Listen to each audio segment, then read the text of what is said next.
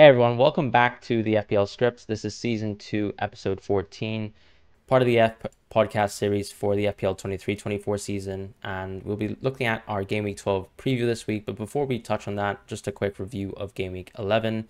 I'm your co-host Fran alongside my other co-host Schadenfreudist. You'll find us on social media platforms. I am FPL underscore underscore Fran on X. Uh, this week was awful for me. I had 21 points, so clearly less than two points per player. At one point, I thought I had 22 points, but you know, it dawned on me that I had 21, which you know, considering I have 13 effective players or 12 effective players, was awful.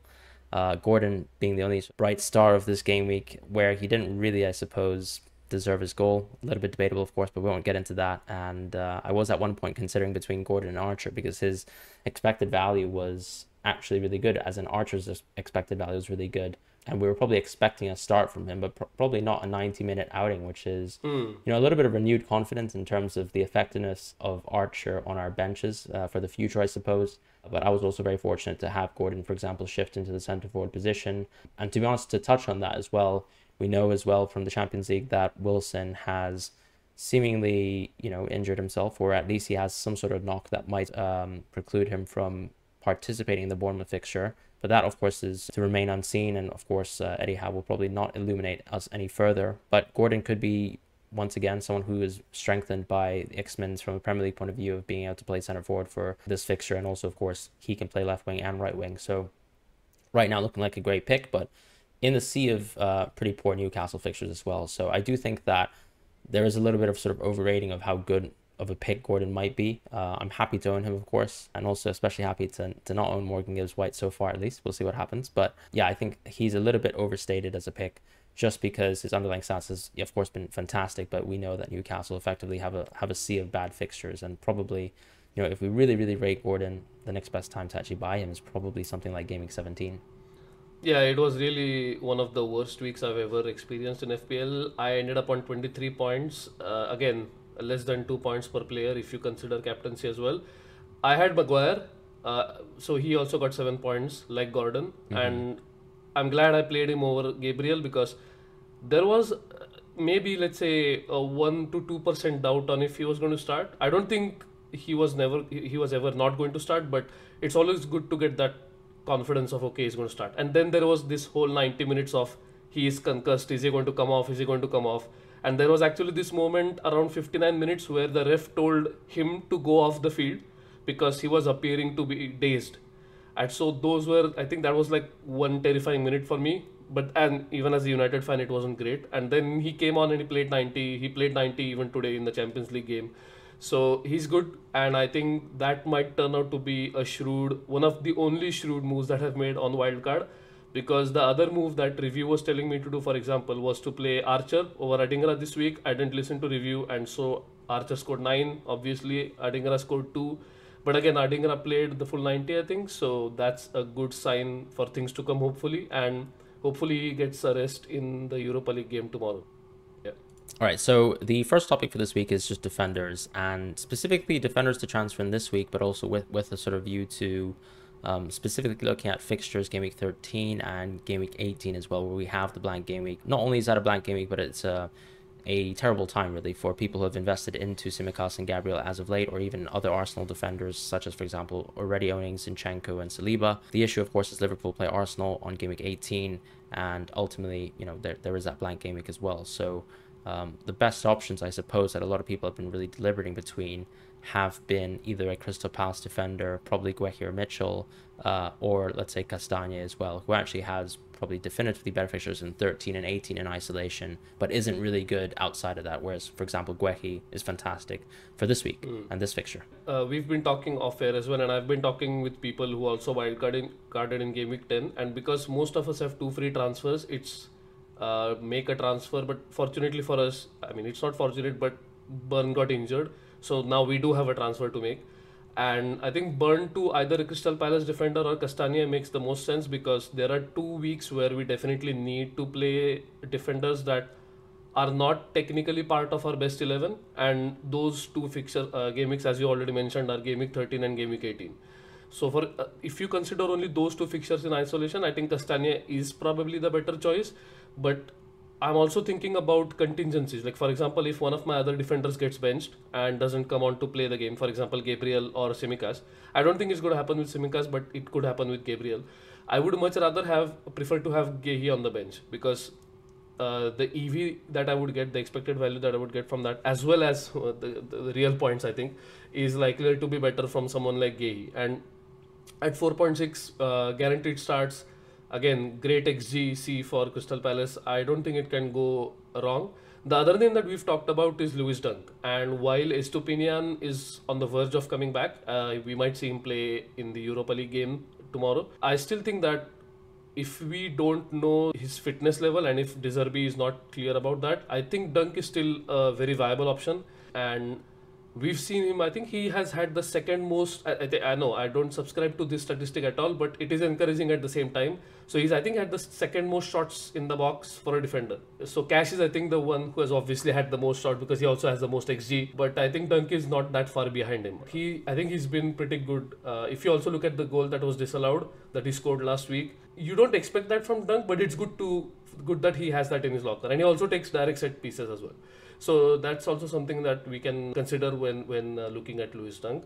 Uh, there are other options that we also uh, were looking at. So for example, City defense. I think a lot of people are looking to sort of either commit to free hit 18 or still maybe try to see if they can hang on to a few for a few more weeks and, until they have to commit. And I think if you go for someone like Guehi because Guehi plays Brighton in 18, I think you are sort of committing to free hit 18 because you would rather have other defenders. So for example, I think Aston Villa is one of the defenses that you would want to have. And if the plan for people is to go, let's say, cash to Estupiñán in game week 12 because um, Brighton have better fixtures than Aston Villa, then in that case, I would think that Guehi is just another step towards that. So City defender is even further of a step, I would say, towards free hit 18 because they definitely don't play in that week. And other than Walker, none of them are nailed as well. And we spoke last week about Walker as well. So do you think there's anyone else worth considering in that City defense? Yeah, I mean, I think uh, I'm probably defaulting back into Ruben Dias, but at that sort of price point, I'd rather just mess with Walker's um, minutes, just because it seems like Walker is just as nailed as him, if, if not more nailed, you know, as it's turned out so far this season. Particular since we sort of see we see Walker effectively holding with for this City team, um, and he actually has like underlying stats this season. You know, things that already sort of make him a little bit better than, for example, just purely going for Ruben for nailedness. And, and also, I think we discussed this that uh, Akanji and uh, John Stones suffering injuries will only bolster the mints of the defenders that are available. Mm-hmm. To what degree we still don't know, but I think Walker being nailed as it is in the Premier League games at least. You said that he's played every single minute, yeah, right? 990. Yeah. In the yeah, that's insane. No, no one would have expected that at the start of the season from someone like Walker. So if that is the case and uh, we expect that to continue, I think committing to Walker is not a bad strategy. But then it kind of does lock you into free hit 18 either that or then you have to play a very thin squad in game week 18 and hope that none of your players are rotated or injured because it is also a busy time of the season so there's that so there definitely a few things to consider when it comes to defenders and uh, transfers out because I think that's probably the biggest area of concern for everyone right now because game week 13 is a really bad week for defenses all around because City play Liverpool. So all of us are looking for options to make sure that our game week 13 defense is okay and then ultimately our game week 18 defense and further ahead as well. So maybe consider some of these things before making a transfer. Yeah. The only other thing or, or sort of pick that I'd mention is probably Livramento. Just because I, I think hmm. when we talk about, let's say, Newcastle defense, a lot of people will be first thinking about Lascelles. But I suppose by, by game week 18, if you're really lo- looking for a pick that actually might serve you there as well, the issue with Lascelles is probably by game week 18, I'd assume, hopefully, that Botman would be back because that's, you know, effectively two two months away. And, I mean, you're sort of looking at... Um, Livramento is someone who could actually last a bit longer as a pick if he actually seems to nail down, for example, that left back starting spot, or at least you know the alternating spot where he plays right back. And um, just touching on Livramento, for example, um, because of Dan Burns' long-term sort of spinal injury, that just means if let's say Botman was to come back into the team, I think Lascelles just loses his spot by default. Whereas with Livramento, that sort of that punt could still last quite long. But I think even in the short term, what we've seen so far this season is Livramento in three outings has effectively been swapped to the left. So I think that sort of increases X Mins. I know um, I, have had some sort of disagreements with some other people who, who don't feel the same, but the way I see it is obviously if you're sort of trying to maximize, let's say, Trippier as a coach potentially, and you think he should always play right back, it's nice to see that Livramento can also play left back whenever you want mm. um, for Eddie Howe. Mm. So that that doesn't really, for example, hurt, let's say, Livramento if you suddenly need Trippier at his best for whatever reason. So you're sort of looking at Livramento as, as a pretty good sort of medium to long term punt. Yeah, and I think the price is very important because price was also a consideration when I went for someone like Maguire because mm-hmm. he was 4.2. Yeah. And I think it's the same logic, but he plays for a much better defense as well. I agree that now because Evans got injured today, Maguire's minutes are almost secure now that he's going to play 90 every week. But let's say two weeks before, I would say argue that Maguire's minutes were not too far off someone like Livramento's minutes are today. So it's not going to take long for Livramento to uh, play 60 to 70 minutes every week and also midweek because they don't have a lot of options as you've already mentioned. Lewis Hall is probably the only other option that they have because Targett also got injured and Targett is, is injured for two months now from what I saw. So it's really a lack of options that is going to force them to keep playing the same players over and over and that is good from an FPL perspective uh, as far as I can tell.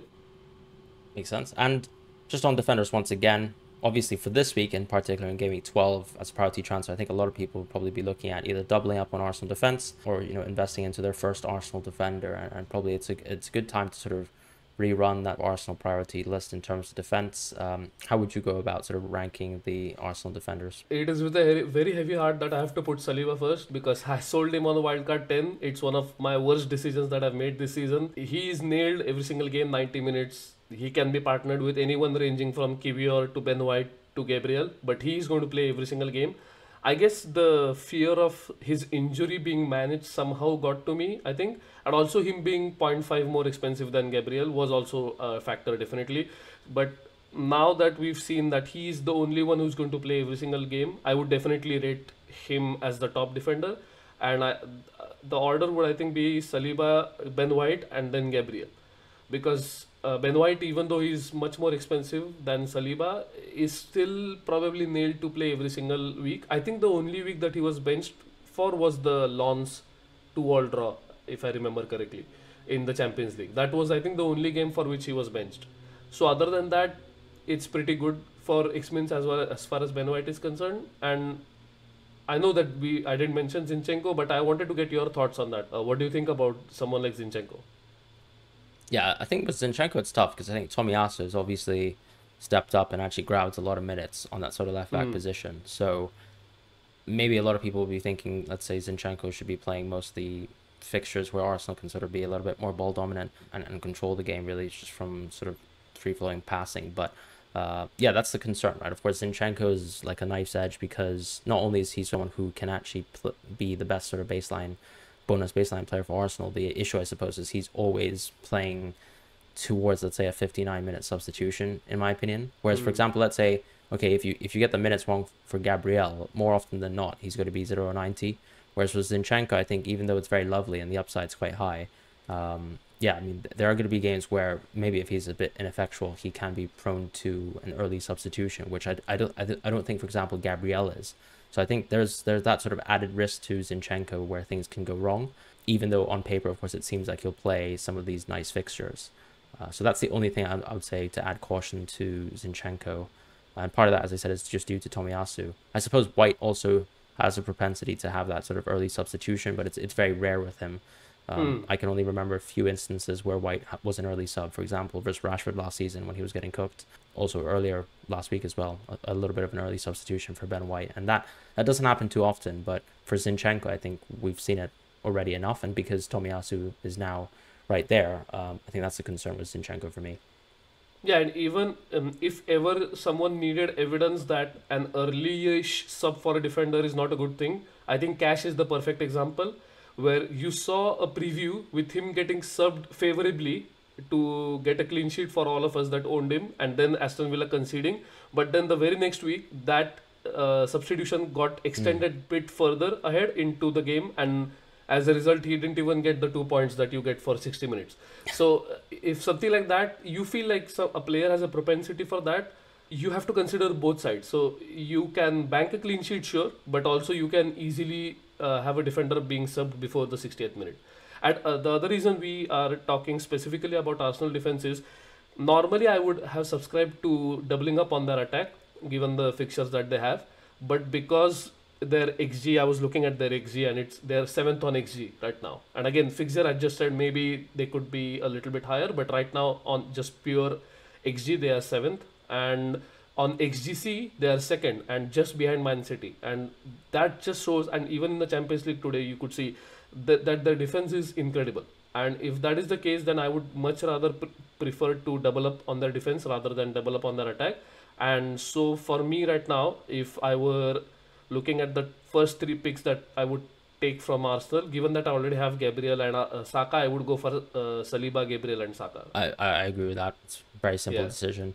And, and part of that too really is even though you have so many injuries in the attacking positions, it doesn't necessarily reinforce the minutes of any of the key picks in the midfield position. And Yeah. with the forward position, I mean, you've got two issues now, I suppose, with Nketiah even suffering a knock himself this week. So it, it's not good. Uh, the minutes are still very dicey for most players. And yeah, just to add on to, for example, a little bit of that fire for Arsenal uh, and their attack. I mean, they've received six penalties this season, the most of any other team.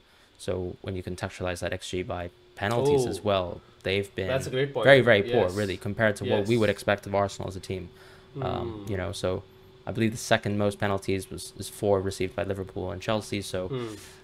yeah, that's actually a lot of added context that I think it's it's worth reacting to. And ultimately, their their defense has only really improved with Rice, and even from like a, a grassy point Oh, of view, uh, you can just sorry. say One thing I forgot to add was the fact that we have so many dicey picks right now in our team. So, for Hmm. example, Gabriel and Tsimikas, and there are so many picks right now that uh, Cash, even I, uh, Cash is borderline dicey. yeah, So I would say that if that's the case, uh, getting someone like Saliba who is nailed on for 90 minutes is, I think, a really great thing for the team because you know that whatever else happens in your team, there's one player that is definitely going to play unless he gets injured.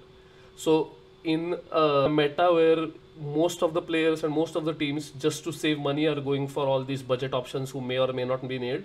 I think getting someone like Saliba, who is not that expensive, I think uh, 5.2 is nothing in, in the grand scheme of things, is I think a really good investment uh, for the long term. But uh, yeah, so sorry to cut you off if you uh, wanted no, to yeah, yeah, that makes sense. Yeah, I was just gonna say that Rice obviously adds a lot to to the Arsenal team, and it's it's already borne out, uh, as you said, Yeah. with the underlying stats. So, so the next thing I think we uh, were going to touch on is uh, burning a free transfer. I think there are a lot of teams that have two free transfers and not really much to do this week. So it's either a question of burn a free transfer or make a slightly sideways move that might benefit you later down the line when you maybe need to play them. But technically speaking, they are probably a nailed spot on your bench. So I, I think goalkeepers is probably the big thing. One big thing that we uh, noticed this week. For example, Turner lost his place. And we always knew that was going to happen somewhere down the line because Vlachodimos is Benfica's number one goalkeeper, and there was no way he was going to just be a second fiddle. So that has happened now, and I'm glad it happened after he gifted Salah a goal. So at least we got that out of his captaincy rather than just a blank. Uh, but now that that has happened, do you think that a sideways move from Turner to let's say someone like uh, Flekken, Raya, or Strakosha makes sense? Yeah, I think eventually you, you're just saving a transfer, right? Because Flekken is probably a suggested move close to when, you know, Brentford's fixture swing, uh, even as soon as 14. So to fast forward it for two weeks makes sense. All you need to do is make sure that Flekken's fine, because I think, of course, the 45 minute substitution is a little weird. Not not too Mm. often that a keeper has a dead leg, I suppose. Um, and he's already struggled a little bit this season to, to get those minutes um, when you sort of need him to play. But yeah, other I mean, if it seems like he gets the all clear, then Flekken's probably the best pick. Otherwise, you've just got Raya, or probably even just maybe maybe you could consider Johnson as well. I think he's still a very good standout oh, That's a keeper, good shout. Yeah, that's a Um, good shout actually. or just the three point nine at that point. I think those are really the only three keepers I would consider moving to in the context that we always have Areola as a backup option.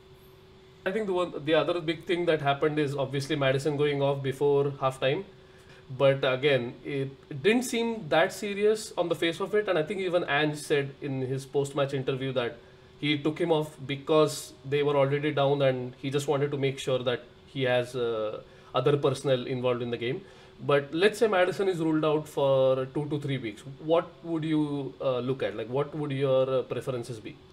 Yeah, I think uh, it would be Mitoma or Eze. um, this week. Mitoma, as we've said time and time again, not exactly really backed by review, but actually, if you, for example, shorten your horizon to let's say four to five game weeks and sort of, you know, stop caring about things like the Asian Cup, he is actually quite a good short term pick. Mm. This is the reality of good Brighton fixtures. So I think Mitoma is obviously definitely one option. And then otherwise, obviously, probably the, the most favorite sort of review pick, um, the one who ticks every single box possibly, um, and is basically like a B tier and um, Mbeumo, which would be Eze. Yeah. Yeah. those two picks probably would be the ones I like. I'm just, are, are you concerned at all about, let's say, um, Roy Hodgson, for example, easing in, or do you think we're going to see him start as soon as this week? That's actually a good point. If I were to use the, the normal philosophy I, I apply to any player that is coming back from injury, I would still wait for a week or 2 But given that Crystal Palace have a real dearth of attacking players, and the reason I, I think that he might already start next week and play a lot of minutes is because he already has been eased in the last week. Yeah. So normally I would think that last week I would have thought that it would be a short, even a shorter cameo. Then he would probably build up his minutes and then probably a start. But the fact that he's already played a lot of minutes last week makes me think that I think a start is probably inevitable this week. And as long as he can stay fit, I, as you've already pointed out, I think calling someone a B tier Mbeumo is the highest praise they can get for their tier because obviously you can be an A tier Mbeumo, which is Mbeumo himself, but as far as B tier players go, I think yeah, that's like probably the highest praise you can uh, get this season.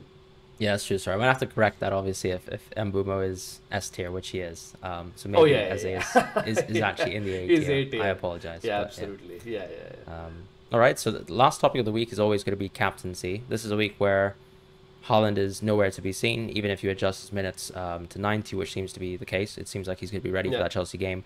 Um, we've got three options. Um, do you want to take us through them? Absolutely. I think uh, it's not of any surprise that Salah is the number one option as per review this week.